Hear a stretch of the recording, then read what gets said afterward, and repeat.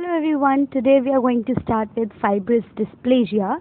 Now fibrous dysplasia is another bony defect which we are going to study like the Paget's disease.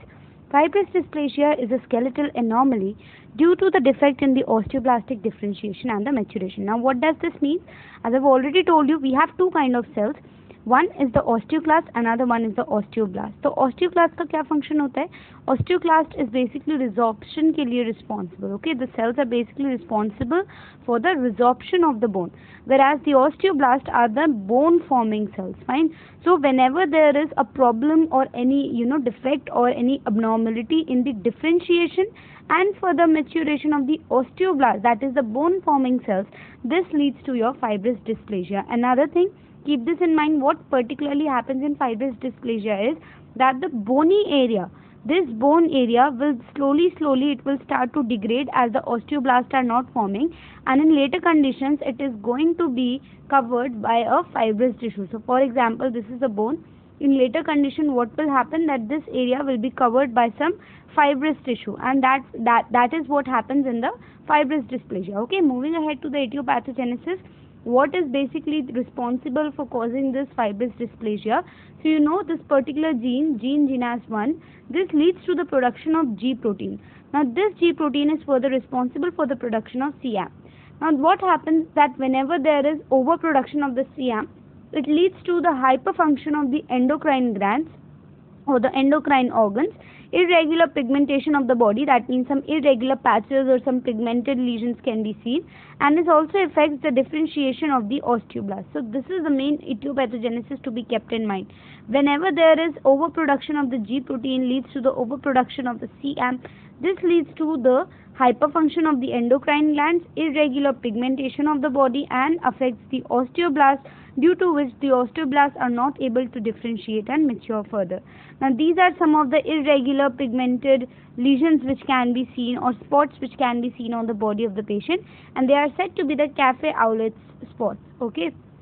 Moving ahead, in fibrous dysplasia, as I told you, the medullary bone, the bony area is being replaced by the fibrous tissue and it gives a ground glass appearance. Very important, keep this in mind that whenever there is a bone that is affected by fibrous dysplasia, so whenever the bone is def uh, defected and it is having fibrous dysplasia, what is going to happen?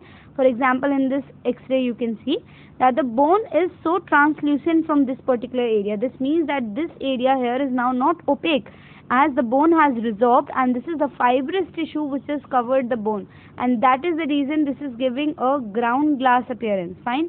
So this is very important point to be kept in mind. Moving ahead, we have three different form of fibrous dysplasia. It can be monostotic form, can be the polystotic form or can be the craniofacial form. We are going to study all these three with the clinical features involved in each type. Coming to the first one that is the monostotic form. The monostotic form is basically going to affect just one bone very important and 70 to 80 percent cases of the fibrous dysplasia are this form only okay? So it is very commonly seen in as it is seen in 70 to 80 percent cases it is going to affect just one bone of the patient. Another thing that it is most frequently seen in the bones that are ribs and the degree of bone deformity is less severe as compared to the polystotic form. So keep one thing in mind that firstly it is less severe it is less severe fine after it is less severe the next thing to be kept in mind it, it is very very common going to affect just one bone commonly the ribs Moving ahead to the second form that is the polystotic form. The polystotic form as is seen in about 20 to 30 percent of the cases so very less as compared to the monostotic form of the fibrous dysplasia and uh, more than one bone is affected here. There only one bone was affected here more than one bone is affected. Now you can see these cases the polystotic usually in the skull and the facial bones. These are the common bones involved here in this case. Bones are going to become very very weak. Why are they going to become weak? Obviously the osteoblasts are not forming the bone is not forming and there is degradation that is happening with time okay? The fibrous tissue has accumulated there due to which what happens is that the density of the bone decreases and it becomes very very weak. Now you see as the bone gets weak they bowed due to which there are chances of fracture. Now what do you mean by bowed this is the normal leg structure. If you see these are the normal bones. What happened in fibrous dysplasia? When the density of the bone is decreased whenever the density of the bone is decreased they are going to bow. Bow means they will turn out like this due to which now more no more pressure is applied on the bones due to which they can very easily get fractured. Do you understand what i'm saying? In normal condition we have straight bones like this straight legs. In a bored patient what is going to happen? The bones the bones of this patient are going to tilt like this due to which more pressure would be applied and can lead to fracture. Coming to the uh, two subtypes we have in the polystotic form the first one is the Jaffe's type another one is the Albright syndrome. So the Jaffe's type, it is going to involve invariable number of uh, bones. Okay, so there is variable number of bones which are involved here. It is also can you can also see the polystotic fibrous dysplasia and the cafe au lait spots in this case. So the first type we have is the Jaffe type in which you will see that a lot of number of variable number of bones are going to be affected. There can be some polystotic features which can be seen in this type and also the cafe au lait spots as I just made you see in the picture uh, before that there were some pigmented patches that were seen the cafe au lait spots they can be seen in the Jaffe's type. When I come to the Albright type that is Albright syndrome the second type mm, keep this in mind that it is going to involve almost all the bones of the skeleton. There are a number of bones which are involved in Jaffe's type but in Albright syndrome almost every bone is affected okay and along with the fibrous dysplasia features polystotic fibrous dysplasia features, cafe au lait syndrome, there is an additional feature which is seen here that is the endocrine disorders. So, endocrine disorders was not seen in Jaffe's type but it is present as an additional feature in the Albright syndrome. So, just give it a small revision. Jaffe's type is going to have these three features and the Albright syndrome will have these features along with these two features. Okay. Moving ahead, as I made you see in the picture before also, these are the cafe au lait spots. These are the pigmented patches which can be seen on the patient's body. Moving to the last form of the fibrous dysplasia, this is the craniofacial form of fibrous dysplasia. Now the craniofacial form, as the name suggests, it is going to involve your face as well as your cranium region. There will be asymmetry which will be seen in the patient's face and in this particular type of fibrous dysplasia, 10 to 20 percent patients are those which are suffering from monostotic form are going to have the craniofacial features also. And 50 percent patients are going to have the monostotic cases okay? Sorry this is the polystotic cases.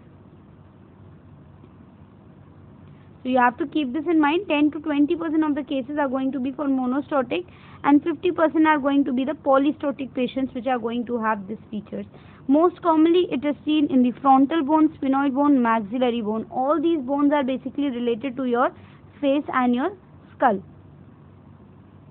Moving ahead to the features which we can see in the craniofacial form of fibrous dysplasia. This is a facial deformity as I uh, told you. Blindness can be seen. Cranial asymmetry can be seen as the cranium is also affected and also hearing loss or deafness you can say that is seen in the feature. Coming to the radiographic feature. In the radiographic feature no there is going to be this particular type of lesion that is said as lucent lesion usually seen in the diaphysis and the metaphysis of the bone. So this is what a lucent lesion looks like. Okay this radiolucency is seen and this radiolucency is majorly because of the fibrous tissue which has replaced the bone okay so that is the prominent feature you see here that is the lucent lesion appearance in the diaphysis and the metaphysis of the bone. These are the two parts of bone. The lucent lesions have a thick sclerotic border uh, which is known as a rind sign.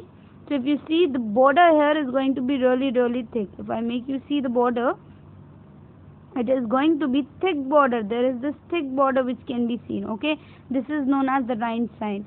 Among skull and the facial bones, the frontal bone is the most commonly affected bone.